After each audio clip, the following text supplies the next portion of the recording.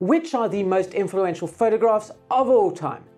The images that have shaped and inspired photographers, both past and present, to create photography with the power to move us on a deep emotional level. Perhaps it might be one of Henri Cartier-Bresson's photographs that managed to capture those moments that were hidden in plain sight. Or was it an Ansel Adams landscape which paints the world in glorious tones of black, white, and everything in between? While these and other photographers of similar stature are indeed inspiring, they didn't create the most influential photographs of all time. So I wanted to find out what were the photographs that helped shape them, that have moved them to create those images.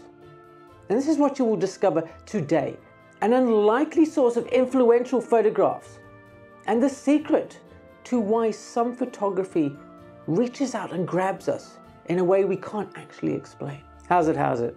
No doubt you have hoped to improve your photography by looking at the images of photographers who are considered to be influential. One of those photographers, you know, who might feature on those listicles that crop up occasionally. The 10 most important photographers of all time. You know the sort of thing. It's a worthy pastime to look at and enjoy the work of photographers. My bookshelves are groaning under the weight of all the monographs that I have, which are testament to that. However, if we really want to discover what is at the heart of great photography and how we can capture some of that magic for ourselves, we need to find that unique attribute that all great photography shares. Punctum! No, bless me.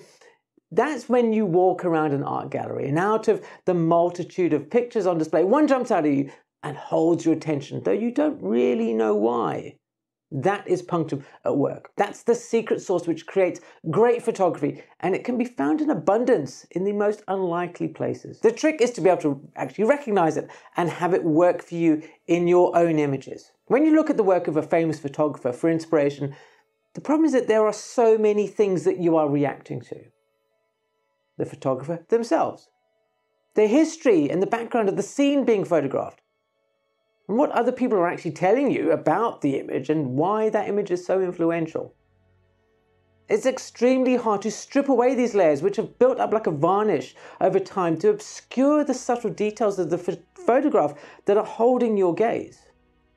Your mind is reacting to those details, but your untrained eye can't really see them. What we need is some way to strip away all that varnish so we can reveal what is at the heart of the photo to almost be able to see the images as a child would see them for the very first time. Luckily, I had a child to hand. A while back, I was sitting with my little boy. We were looking at some photographs. Now, as you probably are well known, three year olds aren't, they're not great at keeping their attention, are they? So, as we were flicking from photo to photo, I was surprised that he was sitting there. He was engaged, he was looking, he was actually looking at the images in front of him what was it that he was reacting to? It certainly wasn't the background story of the subject, because for him, he didn't know anything about it. He doesn't know anything about composition or lighting ratios. Now, so as is so often the way with these things, I didn't really think much more about it until I came across a monograph called Mid Century Memories, and that triggered a light bulb moment. Mid Century Memories is a wonderful collection of photographs that has given us the ability to see photography much like a child does, to explore what it is that holds our attention, to learn to see and to harness punctum. As I was flicking through the pages, it struck me that I'd been looking in all the wrong places on which to draw influence from for my own photography, why it was lacking in that personal connection. The surprising thing was, what had been holding my lad's attention wasn't a collection of Richard Avedon prints, but a humble collection of family snapshots. That form of photography that has been looked down snootily since Kodak first told us that all we needed to do was to press the button and that they would simply do the rest for us. Once photography had gained a foothold and Kodak had made image creation available to the masses, it's most likely that all of us were initially exposed to the alchemy of photography in a similar fashion. So, right now, you might be thinking, of your own family photographs. I I certainly am. And for the most part, you'll know the people or the events in those images. So they are still influencing the way that you are interpreting that photograph. So you're not looking at the photograph itself, you're looking at, at Uncle Bob. When we take away that personal connection, then those images really they cease to become treasured items and they're often consigned to the shelves of a goodwill. And that's where a great number of the images in this monograph, Mid Century Memories, have come from. They are moments that once were deemed worthy, worthy of a slide of Kodachrome, and now they were been simply tossed away. These are the images that form the basis of this monograph. Photographs of people whose names have been lost to history that were taken by anonymous photographers in completely unspecified places.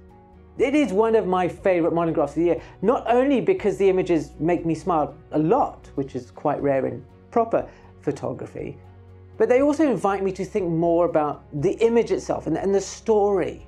They draw me in. Once again, it's this punctum at work.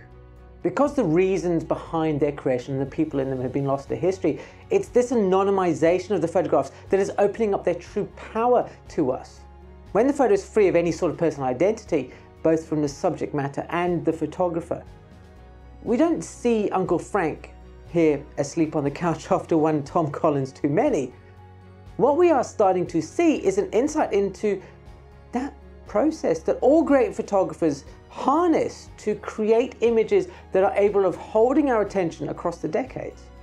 Despite the total commitment to amateurism in the photographs in this book. A great number of these photographs have within them a soul, a soul that is sorely lacking in a lot of photography that is crafted for a specific purpose, you know, art photography. The first step in understanding how the images can do this is to ask yourself, no matter what photograph you're looking at, is, is why? Why did the person choose to photograph that moment and not another one. Sure, some are, are pretty obvious universal themes.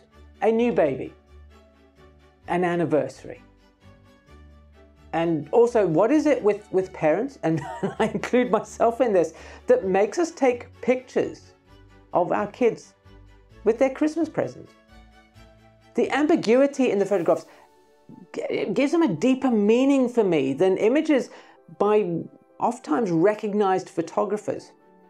I am a big fan of Walker Evans, but quite often a Walker Evans photograph is crafted specifically just to convey a, a, a, a, single concept, one single idea. Very few things within that image are left to chance or, or interpretation.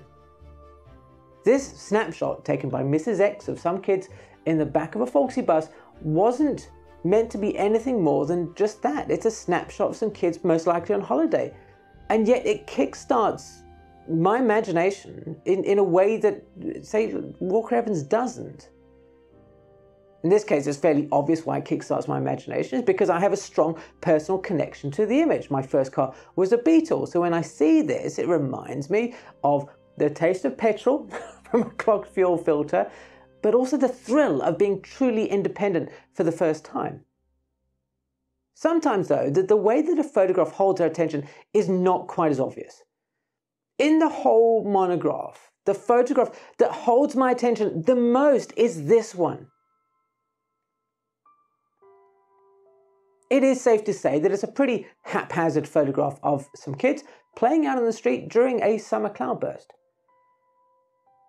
The photograph itself is, is not great. It wouldn't win any awards. There's no real focus. There's no actual composition. It's just three kids playing in a flooded suburban street as a car drives past. Whoever took this photograph, and, and from the way that the kids haven't been told to look at the camera, I'm going to hazard a guess that it was another kid. They, he, they, was simply reacting to the scene in front of him.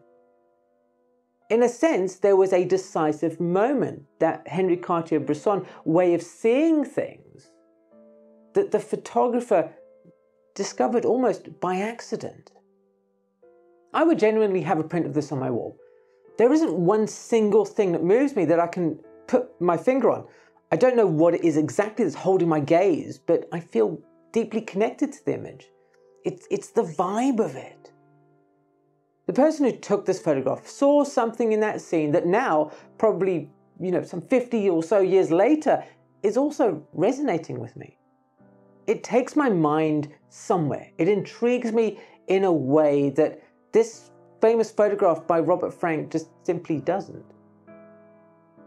This picture of people on a bus doesn't connect with me or, or draw me in in any way. It feels almost cold, it feels almost impartial. That's a terribly fashionable thing to say, but sometimes I just want to jump into a photograph. I want to swim around in it. I want to explore its uncharted waters without a map, without any sort of guidance. And you very rarely get to do that with well known photographs. Punctum isn't a thing that you can consciously put into a photograph, most likely because it is an act on behalf of the viewer.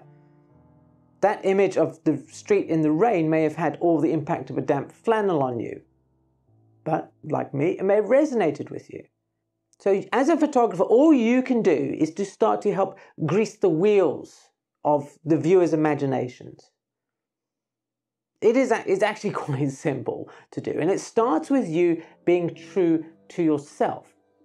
This quietly confident young man hasn't been asked to smile or say cheese, but to simply be himself. Parents are often very good at recognizing this moment when they decide not to force their children to gurn at the camera every time they pick it up. An artist like Vee Speers also uses those moments and, and she recognizes them and then channels them into her own photography.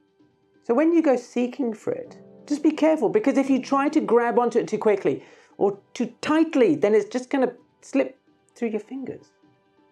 Many of the photographs in this book have an air of, of, someone like Martin Parr about them. Not because the original photographer was trying to be a world famous documentary photographer, but because Martin Parr, in his professional photography, has managed to listen to develop and nurture that voice inside him that also spoke to that kid in the rain, the voice that says to anyone who is willing to listen, This is a moment.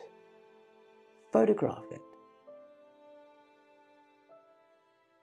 When people talk about photographs that have had the most impact on them or who have influenced their photography, it's extremely rare that photographs like these, snapshots, get mentioned. It's strange because these images, as far as I'm concerned, have done more to influence photographers than any of the usual suspects. The photographs here weren't created to be anything more than a record of a moment, and a, and a moment that simply pleased the photographer. They are examples of listening to one's instincts in its most basic form.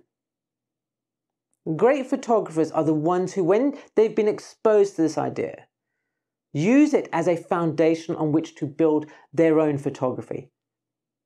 The holy grail for me would be to make the viewer feel like they are part of the moment. Larry Burrows spent days with combat units in Vietnam before photographing them.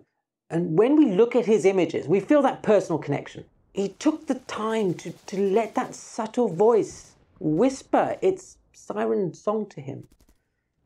These random family photographs are so extremely influential because you can imagine the young Richard Avedon or Annie Leibovitz sitting with their parents, being exposed to these random, haphazard, oftentimes bizarre moments, and it triggering something in their minds. Discovering that everything and nothing can be a photograph. That sure, you can polish and hone the technical skills in producing images, but first and foremost, you need to be willing to give yourself up to the process and just let your instincts run away with you. Without these photographs and the millions more that have been created over time, these humble family snapshots, Avedon, Leibovitz, and all the other photographers who enrich our world with their photographs would never have been likely to have tapped into that little voice in their heads. And when they have listened to that prompt, that this, that this is the moment to be photographed, they have passed some of their own personal connection into the images and they make it easier for us to read our own stories from their photographs. Forget for a moment about creating technically perfect photography or pushing compositional boundaries. Just pick up your camera and start listening to that voice again. This is a moment, photograph it. When you do, you will join those millions of anonymous photographers who have inspired and continue to inspire generations of bondage image makers with photographs that embody that line from an old Kodak commercial. That line that says, Keep me, share me, and I will live forever.